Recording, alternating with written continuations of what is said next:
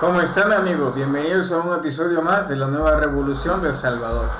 Bien, este día, más bien yo quería eh, hablar, espérense que el vecino está taladrando, pero les quería hablar sobre todo este incidente del presidente Sánchez Serén.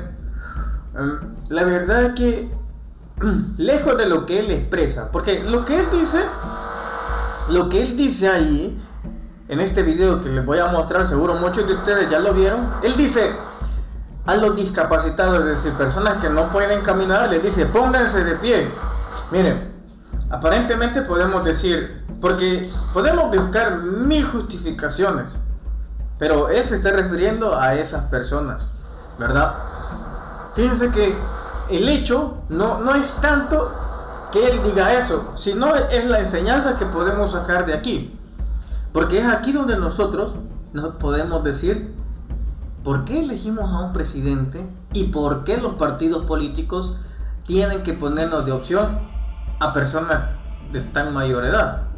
Porque como les decía en videos anteriores, estaba el caso de Norman Quijano. Fíjense, el caso de Norman Quijano es cabrón porque y, de, y de Sánchez Serén es difícil porque nos ponen a dos ancianos, parecía las presidenciales de la tercera edad. Y con mucho respeto para las personas de la tercera edad. Sé que hay personas que son bien capaces, ¿verdad? Pero hay otras que no, que son incapaces. Y entonces nos pusieron a elegir. Arena nos ofreció el morir de cáncer, el FMLN morir de SIDA. Muchos optaron morir de SIDA y votaron por el FMLN, ¿verdad? Pero de por sí los dos candidatos estaban pero pésimos. No había mucho que pudiéramos hacer, ¿verdad? Fíjense que el, presidente Serén, yo estoy bastante convencido de que él no manda en el gobierno, de que él no toma decisiones. Yo más bien creo que hay otros que toman decisiones a sus espaldas y le dicen qué es lo que él tiene que decir. Él solamente es la pantalla, como en el caso que pasó eh, hace tiempo, bueno, hace cientos de años, en el imperio azteca, con Moctezuma. Cuando llega Hernán Cortés y empieza Hernán Cortés eh, a conquistar ciudades y de hecho le gana la voluntad a Moctezuma y Moctezuma ya no hacía nada, solamente era vocero de Hernán Cortés y solamente era la pantalla que él era el que mandaba, pero realmente quien lo mandaba era quienes estaban atrás de él. Sánchez Serén se ha convertido en un títere y sobre todo porque el señor ya no tiene energía. Hay otros que mandan ahí, otros personeros, puede ser el secretario privado, o otros más. Porque realmente cuando vos escuchás hablar al presidente así y que haga semejante falta de respeto, te das cuenta que él no está atrás de las decisiones del país. Así que yo creo que la enseñanza primordial que tenemos que sacar de ahí es que no podemos, que un pueblo salvadoreño joven, porque nosotros somos un país joven, somos un país en donde hay más jóvenes que personas mayores.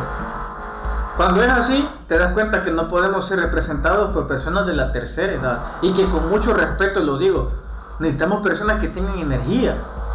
Al presidente Serén, a veces hemos visto que en estos festivales de buen vivir, a medias y que se le olvidan las palabras, hasta se le queda temblando y que no se acuerdan las cosas que él dice.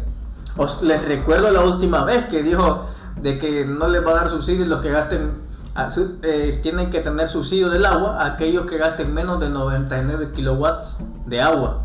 Es decir, son, son cosas que realmente te pones a pensar que él no es el que manda. Y, nunca ha sido así. Nunca ha sido así. E, el único que quizá yo creo que realmente mandó fue Tony Saca y que no se dejó manipular y por eso los poderes fácticos le pasaron la factura por no dejarse mandar. ¿Verdad? Y que él pues sustrajo los bienes solo para él y no compartió. Creo que ese fue de los grandes delitos. Pero bien, esta es la enseñanza. En las próximas presidenciales deberíamos de exigir candidatos jóvenes. Ya sea si es Nayib, ya sea si es otro de apellido Calleja, ya sea quien sea. Pero que sean candidatos jóvenes y capaces. Porque ya estamos cansados de tener puras personas eh, mayores. Pero en este caso sí se pasaron en estas últimas elecciones. Así que aquí te dejo el video del presidente Sánchez Serén y espero que reflexiones el punto en donde personas mayores no deberían de estar con semejante responsabilidad que es la conducción de más de 6 millones de salvadoreños dependemos de este señor. Ese es el punto. dependemos de este señor. Y otra propuesta que tenemos que hacer, que próximamente yo la voy a hacer en la asamblea. Los diputados no deberían de, pasarse más de dos periodos eh, ahí sentados en un currul. Máximo deberían dos periodos, después deberían de renovar. Ahí tenemos dinosaurios auténticos que están ahí desde los acuerdos de paz.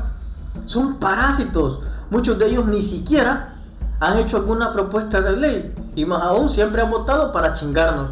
Entonces pienso que esa sería una de las cosas buenas que deberíamos de hacer en la otra legislatura. Que los diputados no se elijan más de dos periodos. Así que aquí te dejo el video. Espero que sea de tu agrado.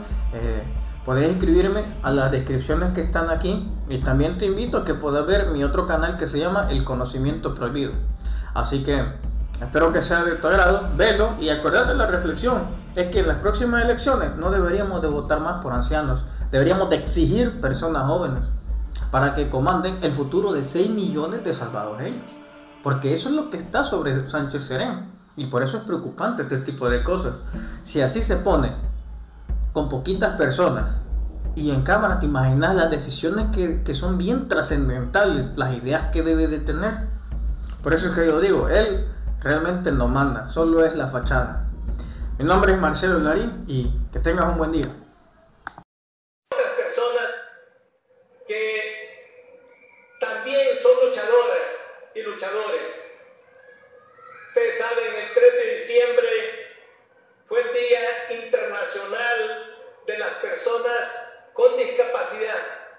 Aquí tenemos una delegación de personas con discapacidad que nos están acompañando. Yo les digo que se paren,